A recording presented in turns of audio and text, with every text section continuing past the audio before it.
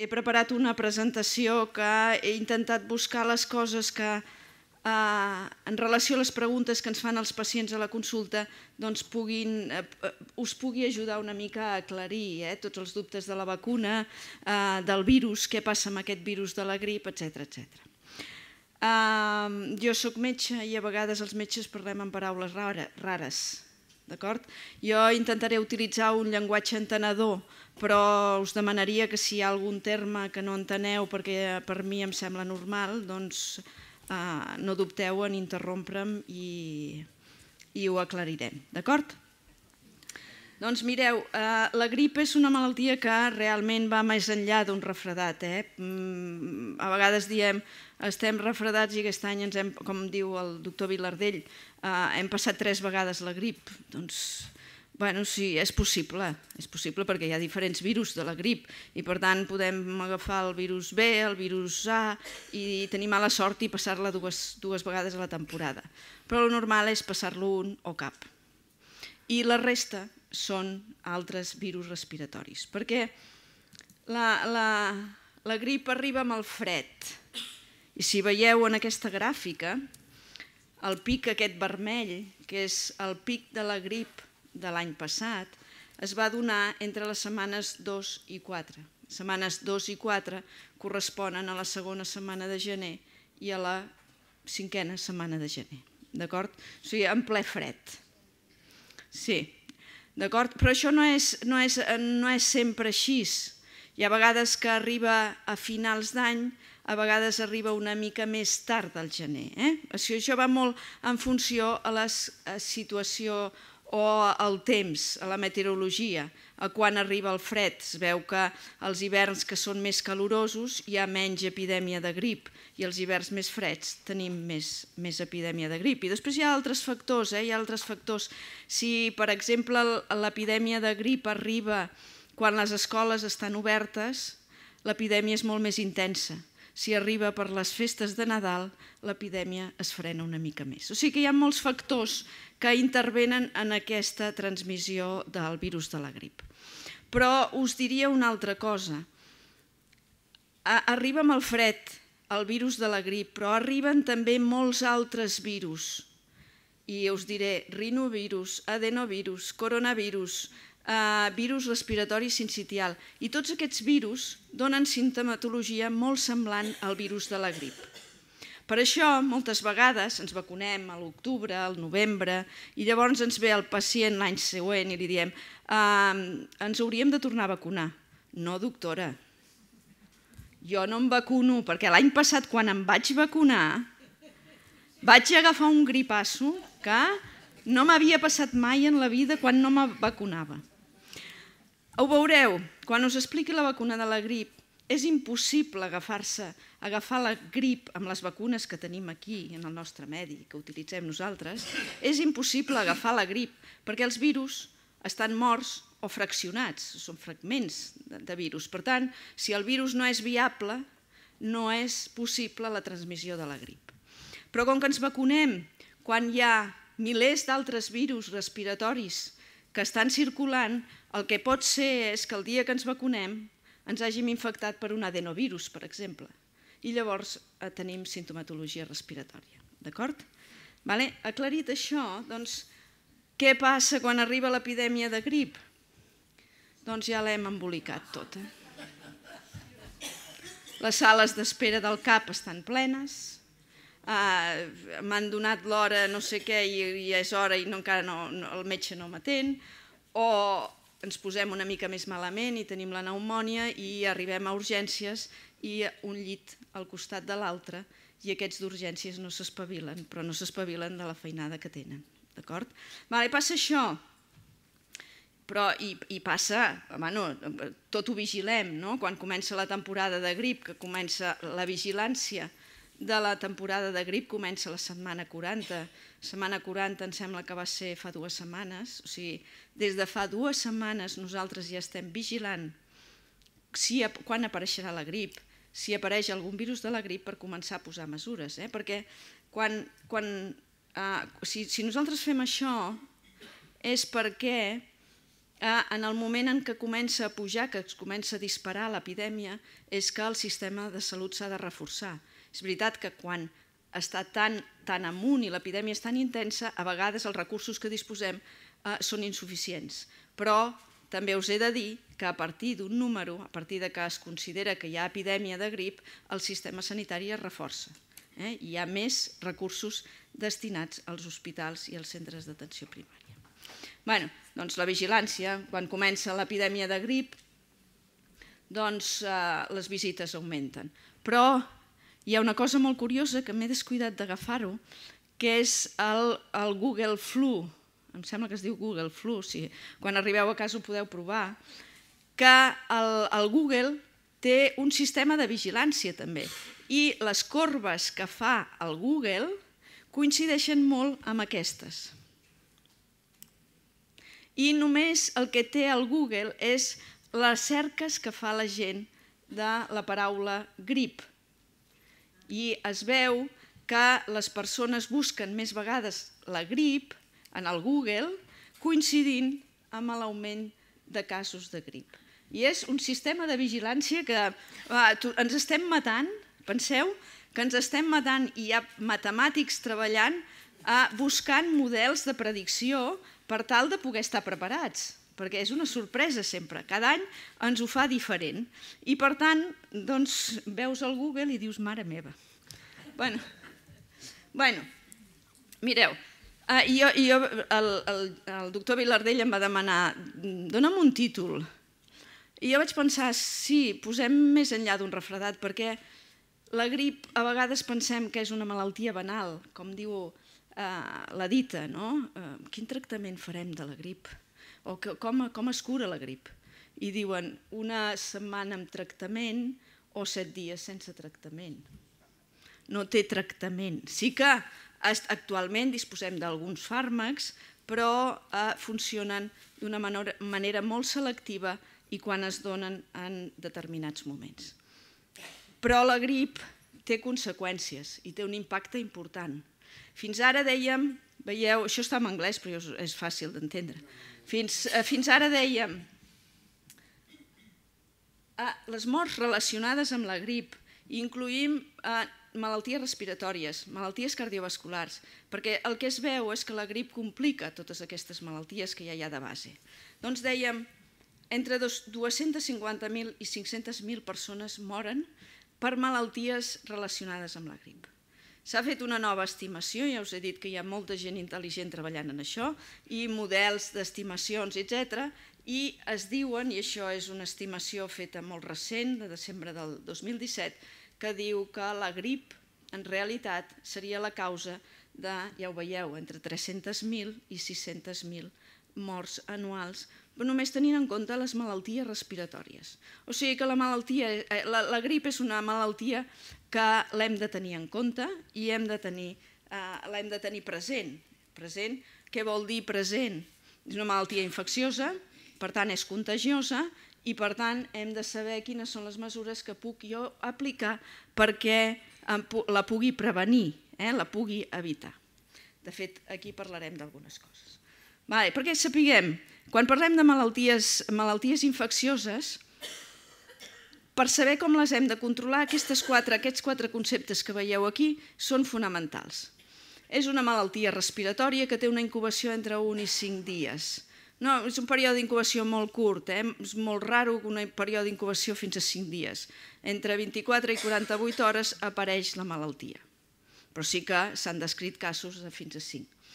El període de contagiositat és des d'un dia que abans de que sentir-me malament fins a quatre dies després dels símptomes. O sigui que quan jo em poso malalta eh, i vaig a treballar, eh, allí estava una mica, sí, però avui tinc una mica de febre, però és clar he d'anar a treballar perquè si no la baixa no me la paguen, eh, doncs estem contagiant.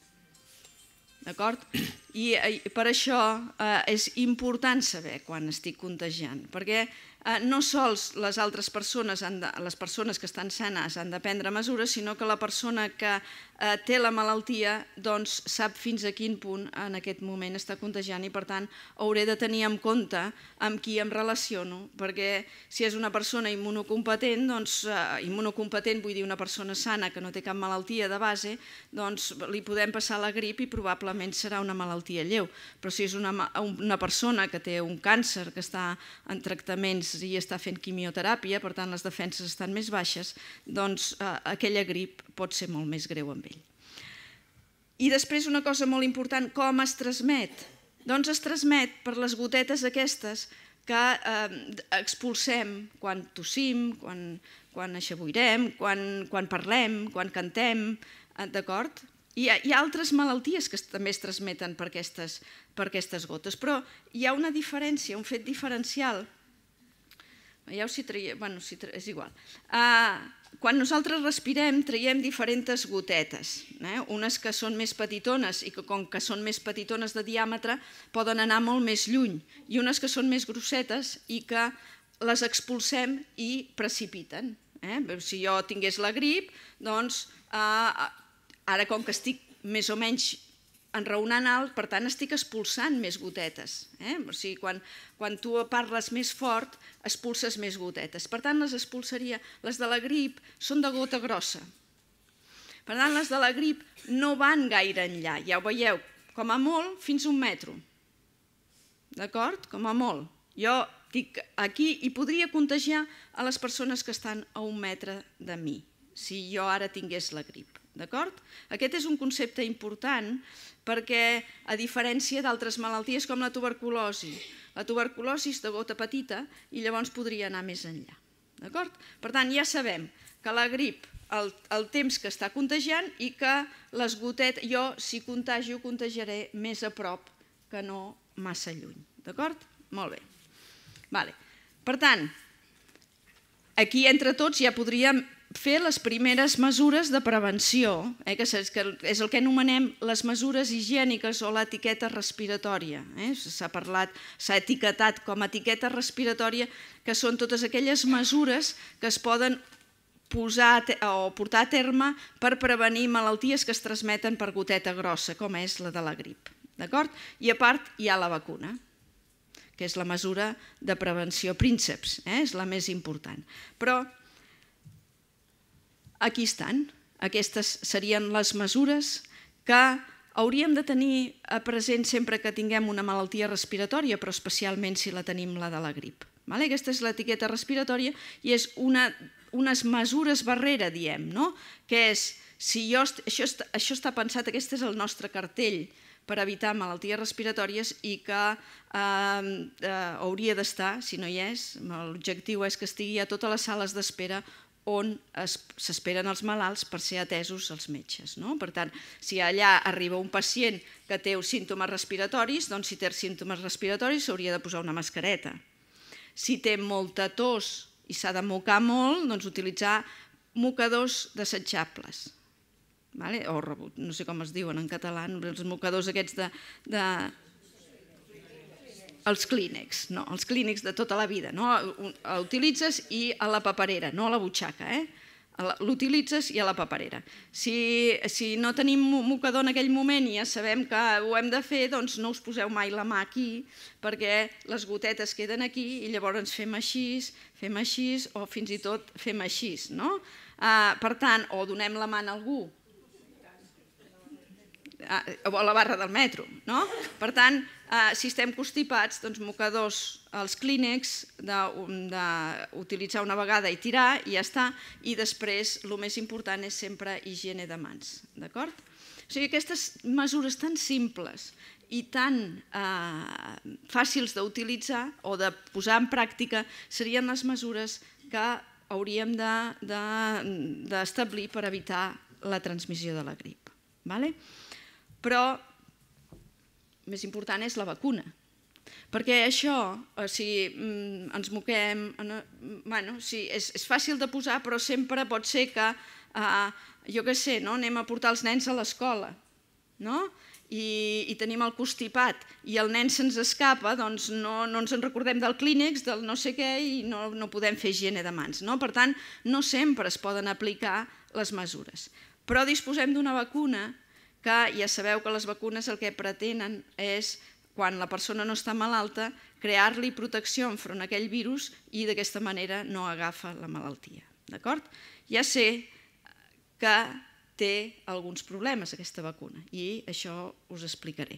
Però entrem que tenim aquestes vacunes. Les vacunes que utilitzem nosaltres aquí són, eh, o sigui, quan us vacunin en el CAP, generalment en aquest moment o us posaran aquesta que posa de segona generació, que posa subunitats, ara us explico de què va això, o us posaran aquesta vacuna de tercera generació que posa MF59. D'acord? Aquestes serien totes les vacunes que hi ha mil, milers de vacunes... Bueno, una mica exagerada. No hi ha tantes, bueno, hi ha moltes vacunes de la grip, hi ha molts fabricants de vacunes de, vacunes de la grip. I veieu, hi ha vacunes que tenen el virus sencer, però que està mort, vale? agafen el virus de la grip, l'inactiven amb mètodes químics i, físics i fan la vacuna, ja està.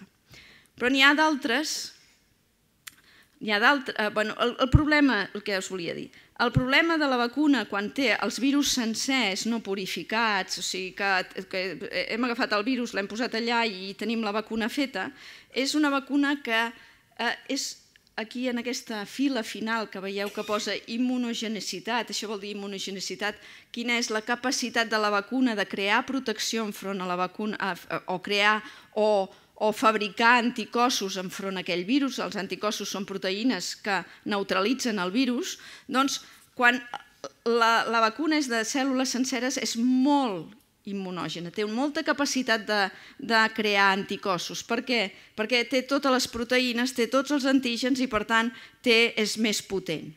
Però de la mateixa manera que protegeix més, té la possibilitat de que faci més reaccions adverses. D'acord? Per tant, cap on anem nosaltres? Quan, cap on anem amb les vacunes? Doncs anem a vacunes segures, a vacunes molt segures perquè no produeixin reaccions adverses. D'acord? Ah, com es aconsegueix això? Doncs purificant la, les proteïnes aquestes que són les que estimulen la resposta immunitària.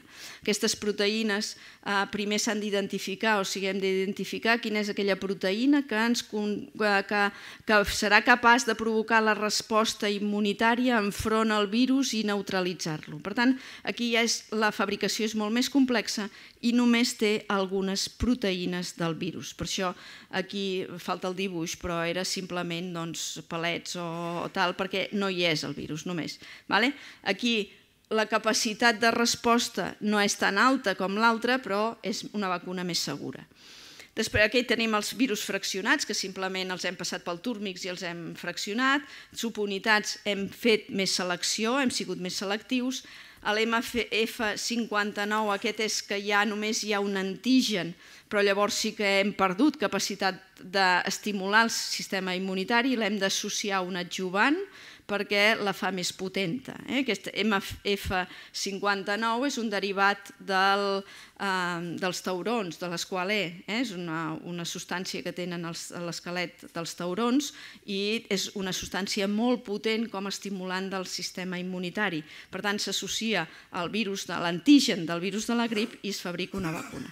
I després tenim les virusòmiques, que aquestes eh, aprofiten estructures d'altres virus i posen les proteïnes, virus que no són patògens, i posen les proteïnes dels virus de la grip. Veieu? O sigui que ja veieu que el camp de la, de la vacunació de la grip és ampli i eh, eh, disposem de moltes vacunes, cada vegada vacunes més segures. De fet, hi ha una línia d'investigació a buscar la vacuna universal, perquè ja veureu quin és el problema de la vacuna de la grip.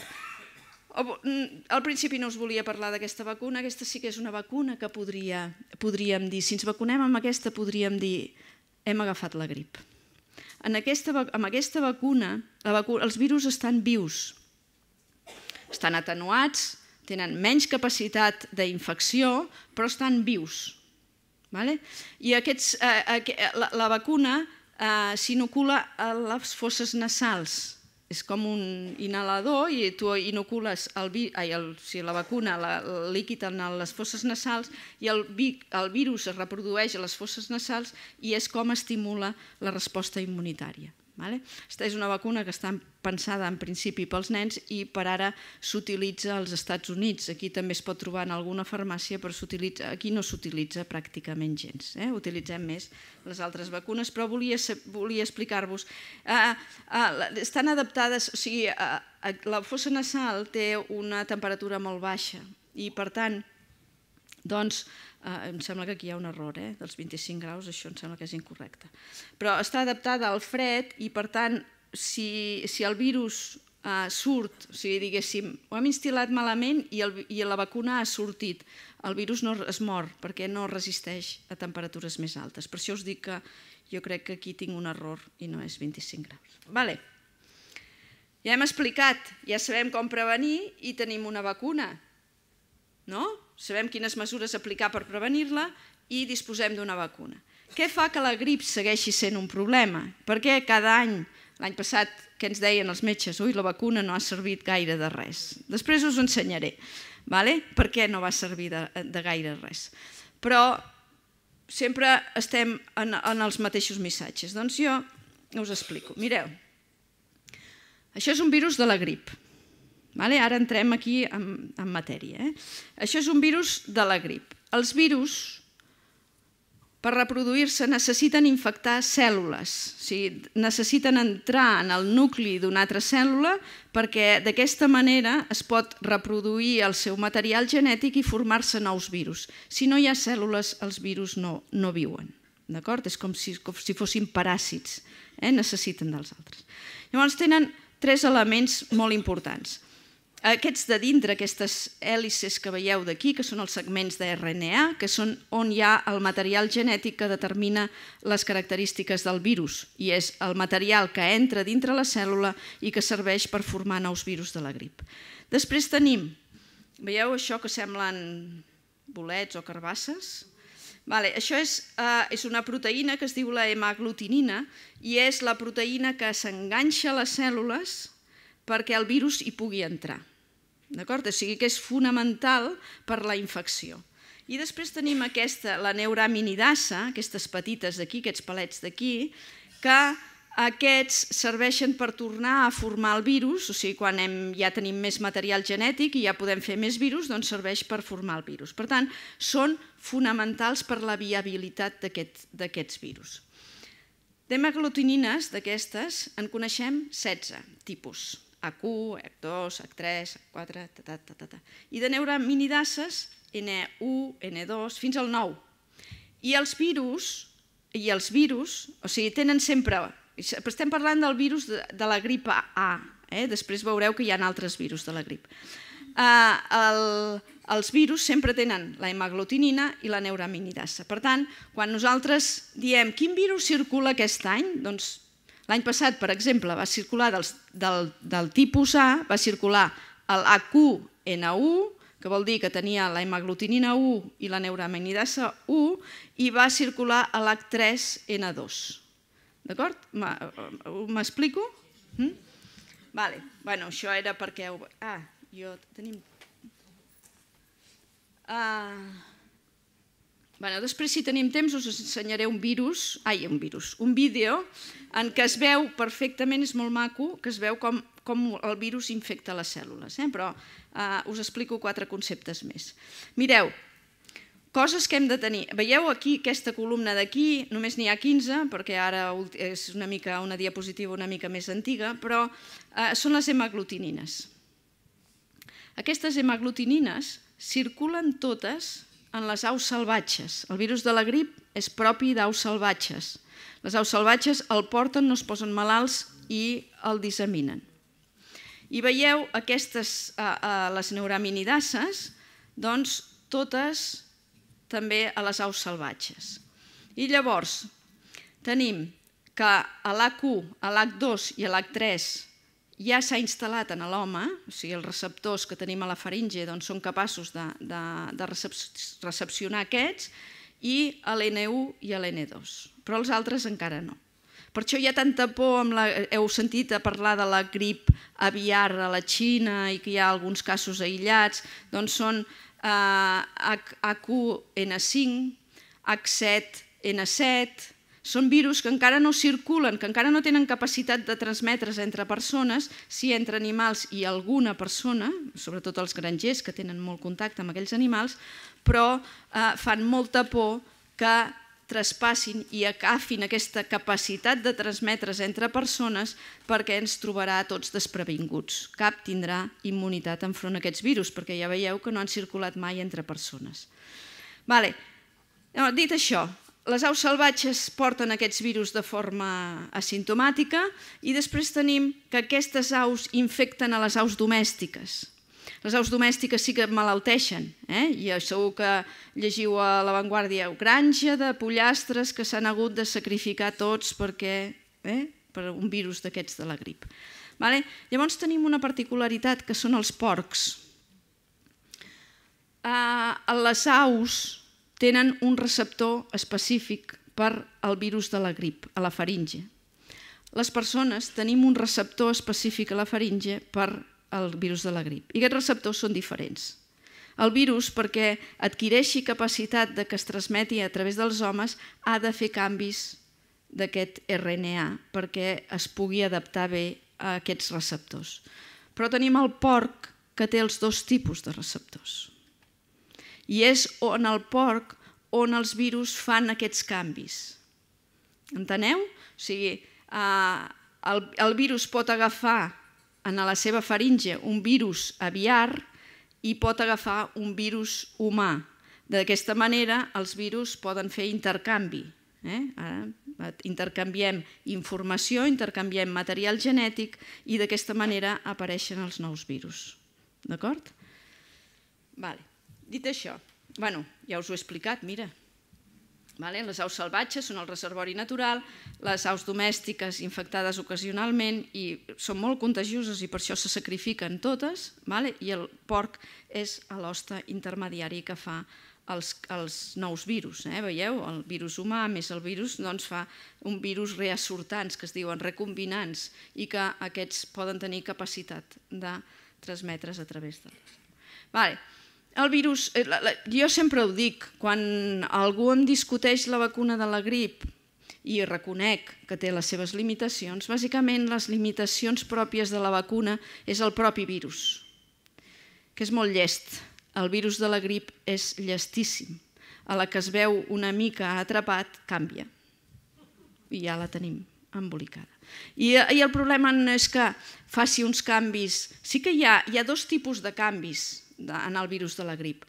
Un canvi major, que aquest sí que és més lent i que triga més anys a fer-lo, en què que es diu això variacions majors o salts antigènic o antigènic shift, eh? això depèn de la literatura que llegiu, podeu trobar qualsevol, que aquest apareix un nou virus de la grip.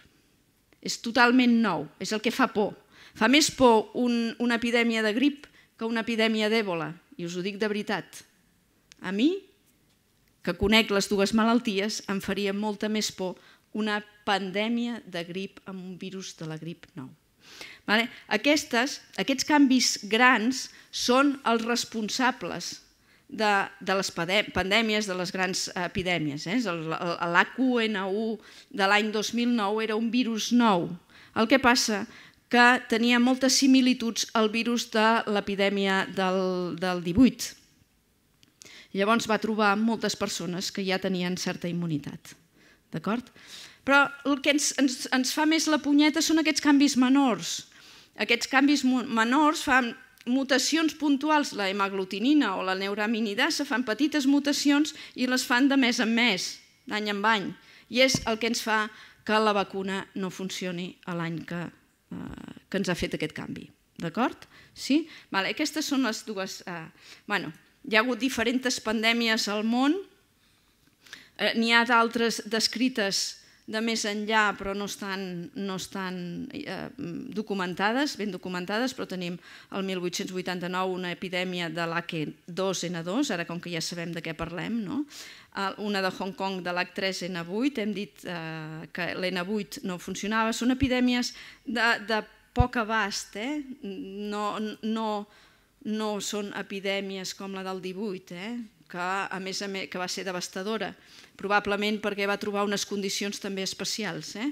Uh, vull dir que hi ha, probablement hi havia molts factors a tenir en compte. Després la del 57, l'H2N2, a Hong Kong, després tenim la del 2009, que no va ser tant com la que, la que ens pensàvem. I per altra banda, tenim tots aquests virus que ens estan preocupant des de l'any 1996, bàsicament, que són els que estan provocant els petits brots de, de, de grip aviar a la Xina.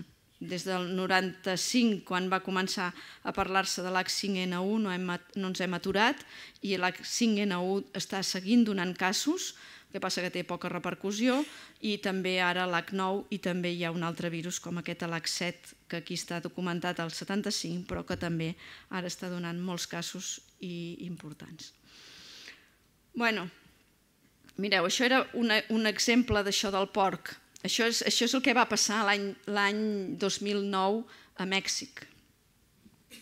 Teníem un virus americà, un H1N1, aquest era humà, em sembla, sí, sí, exacte, el virus humà i després un altre virus porcí que es van trobar, es van trobar en, probablement en una faringe d'un porc i es, va, es van recombinar i tenim aquest nou virus H1N1 que des del 2009 està circulant cada any entre nosaltres. Eh? Donant, eh, o sigui, aquest virus forma part de totes les vacunes que, que ens posem des de llavors. Eh? Totes les vacunes, i ara veureu eh, de què van les vacunes, però eh, forma part d'aquestes aquest, vacunes. Bueno, això és el que veieu que va passar, no? que hi va haver-hi canvis majors i va aparèixer un nou virus. Aquesta diapositiva la, la poso perquè m'agradaria aclarir una cosa. Des del 2009 la gent diu he tingut la grip A, com si fos diferent a la grip estacional. I, i no, no, el virus de la grip és A, B, C o D. I el virus de la grip que circula cada any és A, sigui H1N1, que era el virus pandèmic, o H3N2, que és el virus que des de fa anys és el que provoca les epidèmies estacionals. M'enteneu? O sigui que eh, el, grip, eh, el virus de la grip A és el que més és el responsable de la majoria d'epidèmies, brots i eh, diguem, els casos de grip que habitualment tenim, però també tenim el virus B, i l'any passat va circular molt el virus B, i després ho veureu. O sigui, l'any passat vam tenir més virus B que virus A circulant eh, entre, o com a responsables dels casos de grip. També hi ha el virus C, però aquest eh, dona casos esporàdics, no és el responsable d'epidèmies, i el virus D, que circula entre animals. Per tant, nosaltres, cada epidèmia, ens enfrontem a un tipus determinat o a dos tipus determinats de virus de, de la grip A i a un virus de la grip B. I amb això vull... Eh, bueno, si teniu alguna pregunta, perquè ara entrarem a un tema que és eh, les vacunes i per què, eh, com funcionen, què han fet i com fabriquem les vacunes. Mireu, eh, en aquest esquema ja veieu que posa aquí eh, la tardor o la primavera o a principis de, de, de gener, després ai, de, de, de l'hivern, el gener, el febrer, març, abril... Tots aquests són els mesos que necessitem per fabricar una vacuna de la grip. Comencem eh, l'any anterior i a partir del gener es comença el procés de fabricació de la vacuna de la grip d'aquell any. I com que aquí queda una mica espès, ho he fet una mica més gros. Veieu? Vale, doncs la primera fase és que tenim eh, distribuïts per tot el món laboratoris que es dediquen a vigilar les soques de grip, del virus de la grip que circulen per tot el món. Eh? Aquests laboratoris fan registre dels casos de grip, agafen, eh, aïllen això, aïllen el virus de la grip i l'estudien és un H1N1, és un H3N2, quin és, un virus B, i tenen tota una llista. No? Després posen en comú aquests, aquestes dades i un grup d'experts a, a l'Organització Mundial de la Salut decideix o estudia quins són els virus que han circulat més aquell any. Vale? Que, com que això dura uns mesos, o sigui, tot això dura des de que comença la grip fins que s'acaba. Per tant, tenim una certa informació de cap on va el virus de la grip, si ha fet petits canvis, si ha fet no sé què, ta, ta, ta, de manera que a partir d'aquí es decideix quins virus formaran o quins són els virus que més probablement circularan l'any següent, la temporada següent. Vale? Per tant, d'aquí és que estem fent una estimació, eh? estem pensant que atès que han circulat més aquests virus que altres, doncs la temporada que ve i han fet petits canvis, no tenen temps de fer més canvis i per tant la, la temporada següent el més probable és que circulin aquells virus. No tenim altra manera de fer-ho perquè no tenim una bola de cristall per dir eh, no? allò del el mirallet, no? mirallet, mirallet, digue'm quins virus circularan. No, això no ho tenim i per tant hem de fer estimació en base a dades eh, fiables i consistents. Vale, fem aquesta estimació. Es diu, l'any que ve hi haurà aquests virus, ta, ta, ta, ta, ta, ta, ta. Vale? Llavors, els laboratoris mateixos comencen a preparar el que se'n diuen uns eh, candidats de vacuna, que serien uns virus que estan no són els virus que circulen, sinó que estan una mica modificats per tal de que siguin menys eh, patògens. I a partir d'aquests, i aquests quan tenen les soques que diuen ara farem la vacuna, doncs aquestes soques són distribuïdes a totes les farmacèutiques que es dediquen a fabricar la vacuna perquè tothom tingui les mateixes soques i tothom pugui eh, eh, tenir la mateixa vacuna encara que el nom comercial sigui diferent. O sigui que tothom tingui la mateixa vacuna. Vale? Tot això és el que passa. Després, aquests virus, eh, les farmacèutiques, doncs, una requitzella d'ous, milions d'ous, penseu, perquè cada virus s'ha de cultivar amb un ou embrionat. El virus eh, creix en un ou embrionat. Per tant, i aquí és un dels grans problemes de Uh, ara diem, no, no em vull vacunar, però si tinguéssim una pandèmia, tothom es voldria vacunar, sí o no?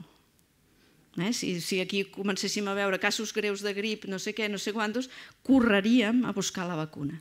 Però no tenim prou ous per, vacunar, ai, per fabricar vacunes per tot el món. És uh, impossible. Per tant, per això s'està buscant un altre tipus, s'està investigant amb altres tipus de vacunes. Però per ara vacuna i ous van associats. Vale? Per tant, a partir d'aquí creix, creix el nou virus, els virus que formaran la vacuna i després ja entra la tecnologia, que són tecnologies molt complexes, eh, de formar, de només agafar, veieu que aquí eh, això seria una vacuna, aquests preparen una vacuna de subunitats, eh? només tenen hemaglutinina, neuraminidasa, etc etc. Vale? D'acord? I aquí ja tenim la vacuna. I el que jo us volia dir és això. Això és el que comunica la OMS, l'Organització Mundial de la Salut, entre febrer i març, i estem parlant d'hemisferi nord, perquè aquest mateix comunicat el fa al setembre per l'hemisferi sud, perquè sapigueu que la grip té el fred, va amb el fred, per tant, a l'hemisferi nord és l'hivern, a l'hemisferi sud és el nostre estiu, estem al seu hivern, però és el nostre estiu. I els tròpics eh, circula sempre, Eh, sabeu allò de que diem, jo me'n vaig a un viatge al tròpic, mm, la grip, mm, doncs torna amb grip. La gent ve amb grip. Eh, la, la circulació del virus de la grip als tròpics és molt menor que les epidèmies que hi ha a l'hemisferi nord i a l'hemisferi sud a l'hivern, però també circula als tròpics el virus de la grip. Doncs l'Organització Mundial de la Salut fa aquest comunicat i diu, i ara us explicaré eh, de què va tot això, la vacuna, la vacuna que us posareu aquest any, porta aquests tres virus. Un virus A, que és Michigan 45 barra 2015, veieu, és una QN1, semblant al virus de l'epidèmia del 2009, o sigui, és el virus pandèmic. Té un, un altre virus del tipus A, que és, de Hong, és un virus Hong Kong, i que és un H3N2. I té un virus B, que és Brisbane. Vale? Sí, aquesta és la, la, la d'aquest any. Llavors hi ha una altra vacuna, hi ha una altra vacuna que està més destinada a persones immunodeprimides, que en lloc de tenir tres virus en té quatre. Té dos virus tipus A i dos virus tipus B. Eh? Però aquesta és una vacuna que s'utilitza poc, per això us he posat aquesta vacuna. Vale? Perquè, eh, sí, perquè eh, entengueu una mica la nomenclatura eh? i perquè dius, per què, que, per què tantes lletres? No? Mireu, la A ja, això ja ho heu après, és el tipus de virus. Michigan Michigan, Singapur, Colorado. Això vol dir a la ciutat on es va aïllar aquest virus, perquè així els tenim ben etiquetats, és que estan molt etiquetats i aquesta nomenclatura s'utilitza a nivell mundial. 45 és el número de soca, perquè tots els virus, doncs, hi ha milions de virus. Michigan, bueno, milions, jo sempre sóc molt exagerada. Uh, hi ha uns quants uh, del Michigan, però aquest és el 45, que es va aïllar l'any 2015 i que el subtipus és un AQN1. Aquesta és la nomenclatura que utilitzem, utilitzem sempre, s'utilitzen en les vacunes, si mireu la caixeta, si li dieu al doctor deixi'm la caixeta, doncs podeu veure i veureu que, que posa aquesta cosa. I um, el que us volia ensenyar, bueno, no havia d'haver sortit això, eh? això rosa no havia d'haver sortit, però mireu, l'any passat que tots diem l'efectivitat de la vacuna va ser dolenta. Per què va ser dolenta? Doncs fixeu-vos i bé en aquestes diapositives que són curioses. Si mirem el virus de la... Aquests, aquests, aquests pastels que hi ha aquí eh, són els virus que van circular l'any passat a la temporada. Durant la temporada a Catalunya, eh? això són dades, dades de Catalunya. Mireu, el 51% va ser, estem parlant del virus B, va ser aquest virus que és a Singapur 16, 19, 2016, H3N2. Anem a la vacuna. A la vacuna, l'H3N2 era un virus Hong Kong. Ja la tenim embolicada. Eh, la, vacuna, la vacuna tenia un altre tipus H3N2, perquè ens va fer la, la juguesca. El virus va canviar eh, l'any passat. I per tant, l'H3N2 era diferent el de la vacuna. I per això la vacuna no és que fos una vacuna dolenta. La vacuna produïa immunitat enfront a aquest virus H3N2, però el que circulava i el que produïa els casos de grip a, a l'exterior no estava la vacuna, per tant jo no estava protegit. D'acord? És per això que diuen que la vacuna Exacte. aquest any no servirà o, o pot ser que... Espereu, espereu. Vale, aquesta era la vacuna uh, d'esto. 17-18? Sí, 17-18, exacte. Vale, llavors, uh, el Hong Kong, el, el, el H, uh, després va circular un altre, un altre virus H3N2, un 28% van ser, que sí que era el de la vacuna. Veieu? Sí? Per això hi ha algú que diu, ah, doncs a mi sí que em va funcionar, perquè probablement en el seu ambient circulava aquest virus, eh? perquè això és, en alguns llocs hi devia haver-hi aquell virus i en alguns altres llocs un altre. No? I després hi havia el Michigan, el, aquest que sí que l'AQN1 estava caçava amb la vacuna. O sigui que teníem dos virus circulants del virus, però és clar, va circular molt menys, eh? l'AQN1 i l'H3N2 que estaven a la vacuna van circular menys que aquest que no hi era. Però fixeu-vos en el virus B. El virus B era un virus Brisbane 2008 i veieu el Brisbane 2008 és aquest 2% que veieu aquí. O sigui que la majoria de casos per virus B o sigui, el 98% dels virus que van circular del tipus B no estaven a la vacuna.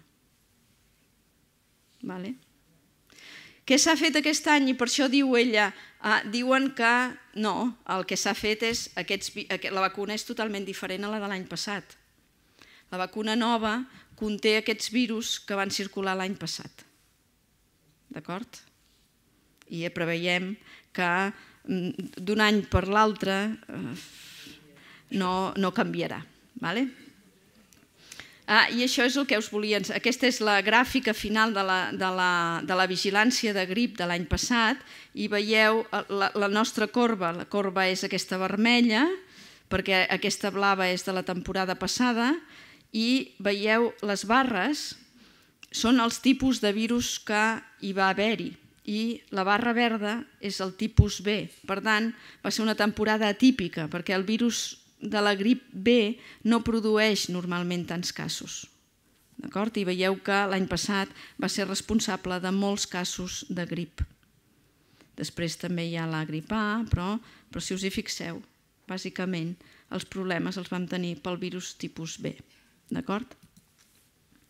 Bueno, per, la, per, per la temporada, la, aquesta, aquella era la, vacu, la vacuna del, de l'any passat, aquesta és la vacuna que té un Michigan, un Singapur, un Colorado, bueno, té un virus AQN1 que és semblant, que és el mateix de l'any passat, i han incorporat aquest Singapur i aquest Colorado que són diferents. Eh? Aquest, aquest és, eh, tot i que no té el mateix nom que el B eh, que us he dit que estava circulant, però és del linatge Victòria, que bueno, això ja és més complicat, i és, són termes microbiològics, però us dic que aquests són els virus que circulaven més l'any passat i per tant s'han eh, posat en la vacuna d'aquest any. I per, per, per veure l'efectivitat, o sigui, ja hem vist, els virus no cacen, vale? però fins on va arribar la protecció l'any passat? No tinc dades d'aquí. No? Els estudis d'efectivitat de la vacuna són difícils de fer, són molt complexes i, i aquí a vegades doncs, eh, no disposem dels medis per fer-ho. Però ja tenim aquest, aquest estudi, que són dades dels Estats Units, que va circular més o menys igual, l'epidèmia va, ser, va tenir unes característiques molt semblants a la nostra i van fer aquest estudi. Veieu, l'eficàcia de la vacuna de l'any passat va ser, això són percentatges, eh? no he posat el percentatge, però són percentatges. L'eficàcia global de la vacuna va ser el 36%, és molt poca cosa. I si ens fixem en els majors de 65 anys, només va arribar al 18%. Si ens fixem en el virus de l'H3N2, l'eficàcia va ser del 25%, ja hem dit que va circular un altre virus diferent al que hi havia a la vacuna, i en els majors de 65 anys del 17%, veieu, la vacuna pot ser eficaç si el virus està dintre la vacuna, va, va haver-hi una eficàcia del 67% enfront a la QN1 i un 34% en majors de 65 anys i enfront al B 42%, eh? perquè van circular dos tipus de virus B i, el, i, i, i, el, i, un, bueno, i no estaven a la, no, perdó, va circular un virus B que no estava a la vacuna, d'acord? O sigui que esperem que aquest any la hàgim endivinat més i, i puguem, eh, i puguem dir o us puc venir a explicar, encara que sigui només aquesta diapositiva, que la vacuna ha tingut una eficàcia del 75% no més. Eh, hem de pensar també que les persones majors de 65 anys eh, la resposta a les vacunes ja, ja està una mica més frenada, o sigui, no és que aquí sigui molt espectacular, sinó que la, la, qualsevol vacuna qualsevol vacuna a partir dels 65 anys, la resposta és una mica més inferior que un jove de 20 anys. Eh? Això, això també s'ha de dir. Molt bé, eh, moltíssimes gràcies.